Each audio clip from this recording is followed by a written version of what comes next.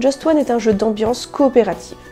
Chaque tour, un joueur doit deviner des mots grâce à des indices donnés par ses coéquipiers. Mais attention, tout indice identique est annulé. Dans Just One, les joueurs font tous partie de la même équipe.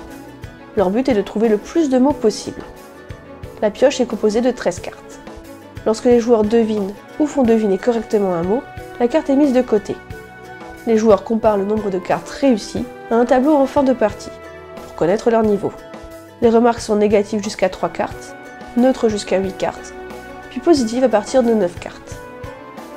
Just One est un jeu de déduction asymétrique. Chaque tour, l'un des joueurs doit deviner un mot. Il pioche une carte et la place sur son chevalet de manière à ce que les autres joueurs puissent en voir les mots. À l'exception de celui qui devine, chacun écrit un indice sur son chevalet en rapport avec le mot à deviner. Lorsque les joueurs ont terminé, ils comparent leurs indices et écartent ceux qui sont identiques. Ils présentent les autres joueurs qui devinent.